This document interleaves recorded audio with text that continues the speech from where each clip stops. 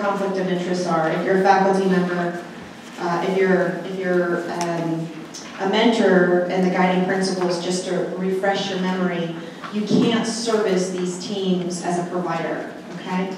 You have to, they have to come to me and they have to ask for permission. And have to give a justification as to why.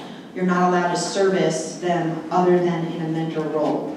Changes the relationship, you're not allowed to invest in them while they're in the accelerator. That could change after they graduate, and we hope that it does because we think that that's an important reason why you'd be a part of us, but in their learning phase, this is going to be as pure of an environment as we can keep it, and that's a function of managing the processes and the policies that are in place so that everybody keeps above board and we don't get sideways.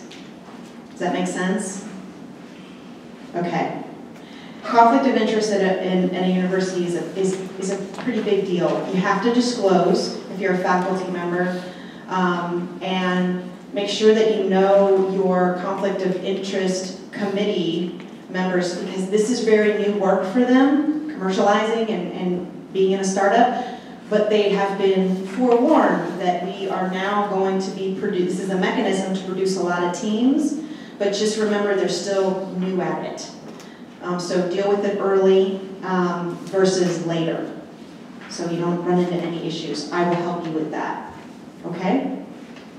Um, statement of principles, this is uh, Exhibit C. These are the governing principles of our mentor program and adopted by the MIT process. Okay, so very specific rules around team mentoring, around um, how we manage the teams and that sort of thing. And you'll learn a little bit more about that again as we go on, but you have the agreements that every mentor has to sign off on, and they're a formal volunteer of Texas Tech system, so they go through background checks, and um, they've been approved.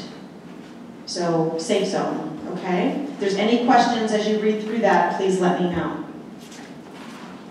Uh, principles for executives, that is Exhibit D. Um, this might seem like something that should be obvious, but believe it or not, when someone wants to have a business in cannabis, that raises a question at a university, right? So it's in place to help you, to help us, to remember that we are dealing with a university and our brand is really important to us. And boy, does stuff, when it hits the news and gets spun out of control in some way, we want to know first, right? We want to keep, I have two rules. Weston, what are my two rules? Safety first, and keep you and us out of jail. Okay, so if we can do that, we're going to have some fun. But it's very important that we remember that um, ethics and, and all of the things that are associated with this principles of executives is, is something that we follow um, and we take very serious, okay? All right, and then payment schedule. Um, entrepreneur, oh, Exhibit E is Entrepreneur Acknowledgements and Release Form. I need all of the teams to release mentors from liabilities and sign off on that form as well. Payment schedule, and financial reporting. Uh, this is kind of what I talked about in the two tranches and who those invoices go to. Carly, if you can raise your hand in the back of the room, she is all things funding around here for me, um, and she's the one that makes sure that uh, the teams get their funding and report the way they need to to keep everything copacetic, okay? So if you have questions around that, she can help.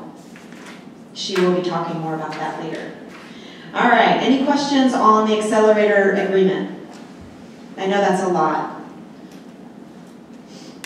No questions? No? Okay. All right, we've talked about um, the guiding principles.